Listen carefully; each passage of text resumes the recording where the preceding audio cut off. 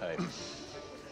so, Harold, you don't happen to have any uh, pictures of your family, do you? Well, I don't know, maybe. I might.